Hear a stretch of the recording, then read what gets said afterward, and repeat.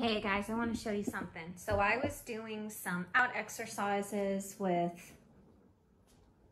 Bruce here, and we're using various objects right now. So we're using like toys, bones, food, all kinds of stuff. Right here I have like a Kong stuffed full with some of his food um, that he was having. And do you see how he's no longer chewing on it, but he's still very much in possession of it.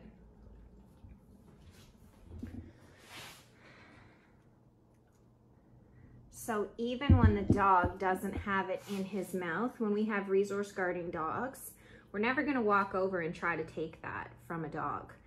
Um, the closer he is to it, the more he is inclined to guard it. And when you reach in to take something of value from a resource guarding dog, that's when bites happen.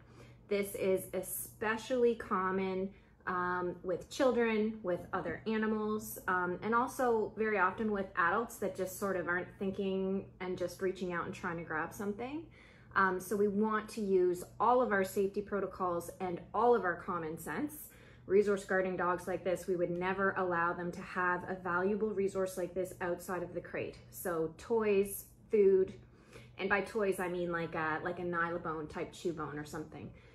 Um, food, treats, the dog gets um, with permission in the crate with the crate door closed and latched, but never out in a situation like this. This is a training situation where I'm working with this dog. So this isn't how we're gonna operate in real life. Um, but I still wanna show you how we're going to get him to disengage from that safely because even in real life, dogs sometimes get a hold of things, you know? We may drop something really close to the dog like this. We're not gonna reach down and grab it and try to snatch it back. What we're gonna do is we're gonna have the dog disengage from it and move off. To do that, we're gonna use our place command, or sorry, we're gonna use our out um, command to place. Bruce, out. Out. Place. Down.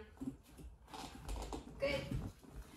So now that I've had the dog walk away from it, disengage, I have him safely on place. Now I can walk in, pick up the item, and put it away. But at no time would I have ever reached in to try to take something like that from him. And this is just like common sense and using our training to make sure we're always empowering ourselves to be in um, a very safe position, um, and just to not create unnecessary conflict or problems with dogs.